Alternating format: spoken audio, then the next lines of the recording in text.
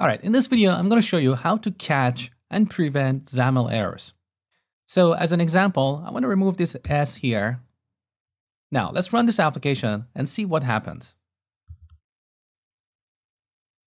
So the application launches and it terminates immediately. And currently, I have no idea what's going on here. In situations like this, the first thing you should look at is Application Output tab in Xamarin Studio. I believe in Visual Studio, this tab is called Output. Now, if you look at this tab, you see we have a XAML parse exception. The exception says type on platform not found. So basically what's happening here is we don't have an on platform type that is not generic. So this is one way to find the exception. Another way is to run the application in debug mode. In Visual Studio, you press F5 instead of Control and F5. In Xamarin Studio, you press Command and Enter instead of Command, Alt, and Enter. Another option is to press this play icon on the toolbar. So let's run this. Okay, we got the exception. So we got a XAML parse exception, and the exception message is type on platform not found. Now the problem we currently have is that we will not know these exceptions until runtime. And as we're typing XAML, it's quite possible that we may make a few mistakes here and there. So is there a better way to catch these errors? Yes, there is. We can include our XAML files as part of compilation. So they will be compiled into intermediate language or IL. And this has a number of benefits. The first one is that we can catch errors at compile time instead of runtime. The second benefit is that because XAML files are compiled into IL, the size of final assembly will be reduced because these XAML files will not be embedded in the final assembly.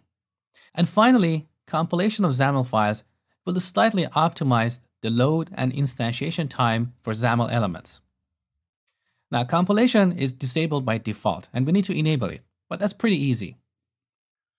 Let's go to the solution. Under Properties, you find Assembly Info. And here we have attributes that apply to the assembly as a whole, like the title, the version, copyright information, and so on. We can include another attribute here, brackets, assembly colon, and this prefix means this attribute is applied to the whole assembly. XAML compilation. Now we get a red underline here because we need to resolve the namespace. So on top of the file, using Xamarin Forms XAML. Now the parameter to this attribute is an enumeration called XAML compilation options.